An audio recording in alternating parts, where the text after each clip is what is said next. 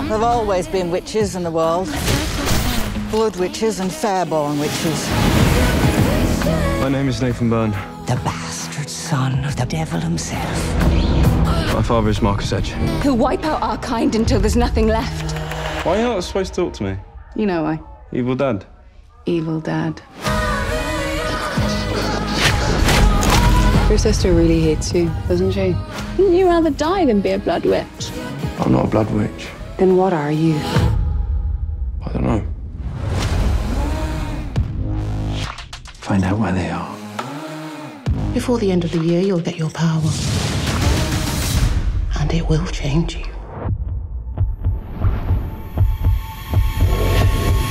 Let's just go into this with a positive mental attitude, shall we? Where are you running from? Fairborn Council. And the Fairborns are after you because His own blood will kill the wolf. I'm supposed to kill my father. Excuse me, you're a fucking what?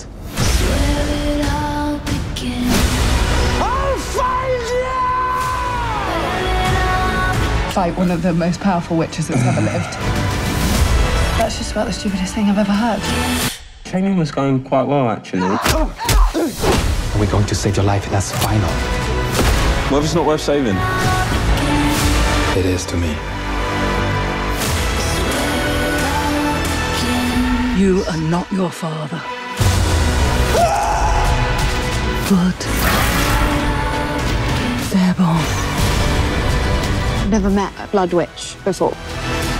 What if they're bad? We're fucking bad. Where it all began.